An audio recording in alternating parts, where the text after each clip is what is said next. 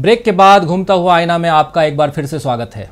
और अब बात जापान की, जहाँ प्रधानमंत्री नरेंद्र मोदी द्विपक्षीय वार्षिक शिखर सम्मेलन में हिस्सा लेने के लिए तीन दिवसीय यात्रा पर पहुँचे। मोदी का पिछले दो वर्षों में जापान का यह दूसरा दौरा है। परमाणु करार, bullet train, South China Sea, ऐसे ही कुछ मुद्दे इस यात्रा की सुर्खियाँ बनने थे। लेकिन भारत में नोटबंदी के कारण परेशान लोग यह जानने में कोई खास दिलचस्पी नहीं रख रहे कि पिछली जापान यात्रा में ड्रम बजाने वाले मोदी जी इस बार क्या गुल खिलाएँगे। कतार में खड़े लोग तो खुद ढोल की तरह पिटा हुआ महसूस कर रहे हैं। वैसे मोदी जी की इस जापान यात्रा की उपलब्धि यह रही कि लंबे समय से प्रतीक्षित परमाणु करार पर हस्ताक्षर हो गए। देखते हैं यह रिपोर्ट।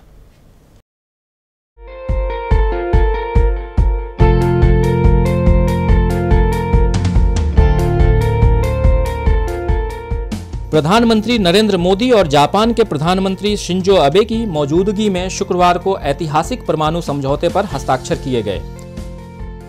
दोनों देशों के बीच परमाणु ऊर्जा के शांतिपूर्ण इस्तेमाल पर सहमति बनी है।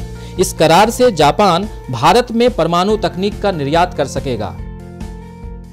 इसके साथ ही भारत जापान के साथ इस तरह का करार करने वाला पहला देश बन गया है, जिसने एनपीटी संधि पर हस्ताक्षर नहीं किए हैं।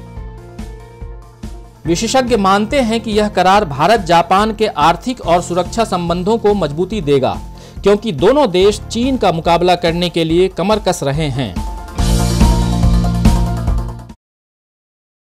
विदेश मंत्रालय के प्रवक्ता विकास स्वरूप ने ट्वीट किया है कि स्वच्छ और हरित विश्व के लिए यह एक ऐतिहासिक करार है। प्रधानमंत्री नरेंद्र मोदी और प्रधानमंत्री शिंजो अबे ऐतिहासिक असैन्य परमाणु समझौते के आदान प्रदान के गवाह बने। परमाणु करार के अलावा दोनों देशों ने करीब 10 अन्य करारों पर भी हस्ताक्षर किए हैं। जापान भारत को स्किल डेवलपमेंट यानी कौशल विकास में भी मदद देगा। जापान आने वाले समय में भारत में स्किल डेवलपमेंट के लिए तीन संस्थान स्थापित करेगा, जिसमें 10 साल में करीब तीस हज़ार लोग प्रशिक्षित होंगे। जापान यात्रा पर गए पीएम मोदी ने वहाँ भारतीय समुदाय को भी संबोधित किया और नोटबंदी पर अपना बयान सामने रखा। भारतीयों द्वारा आयोजित एक स्वागत समारोह में पीएम मोदी ने कहा कि मैं एक बार फिर यह घोषणा करना चाहूँगा कि इस योजना के बंद होने के बाद इस बात की कोई गारंटी नहीं है कि काला धन रखने वालों को ठिकाने लगाने के लिए और दंड देने के लिए कोई नया कदम नहीं उठाया जाएगा।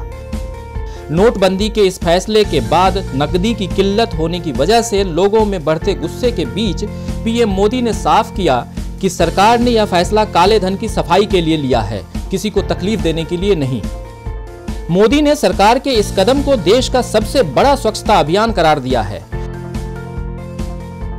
लोगों की तकलीफ़ पर प्रधानमंत्री मोदी ने कहा कि मैं अपने देश के लोगों को सलाम करता हूँ। मैंने लोगों के समक्ष आने वाली परेशानियों पर लंबे समय तक विचार किया, लेकिन इसे गोपनीय रखना भी ज़रूरी था और इसे अचानक किया जाना था, लेकिन मुझे कभी यह नहीं पता था कि मुझे इसके लिए शुभकामनाएँ मिलेंगी। शुभकामनाएँ तो पता नहीं मोदी जी तक कैसे पहुँच रही हैं, लेकिन उनके मज़ाक की आदत पर हैरानी होती है कि वाकई उन्हें आम जनता को हो रही तकलीफ़ का कोई अंदाज़ा है या नहीं। कल कुछ जगहों से खबर आई कि गंगा नदी में लोगों ने 500 और हज़ार के नोट बहाए। इस पर पीएम मोदी ने चुटकी लेते हुए कहा कि पहले गंगा में कोई चवन्नी नहीं डालता था और अब 500 तथा हज़ार के नोट भी बह रहे हैं। बेईमानों को लगने लगा है कि बैंक में जाने से अच्छा गंगा जी में जाना है। पैसे मिले ना मिले, पुण्य तो मिल ही जाएगा। हैरान, परेशान जनता पता नहीं इसका टाक्स पर क्या सोच रही होगी। कहीं यह मज़ाक मोदी जी पर भारी न पड़ जाए। तुम आज हँसते हो तो हंस लो मुझ पर। तुम आज हँसते हो तो हंस लो मुझ पर। यह आजमाइश न बार बार होगी। मैं जानता हूँ मुझे खबर है कि कल फिजा खुशगवार होगी। आज के लिए बस इतना ही। अगले हफ़्ते फिर मिलेंगे। खबरों के नए आईने के साथ। तब तक देखते रहिए डी लाइव। नमस्कार। Thank you.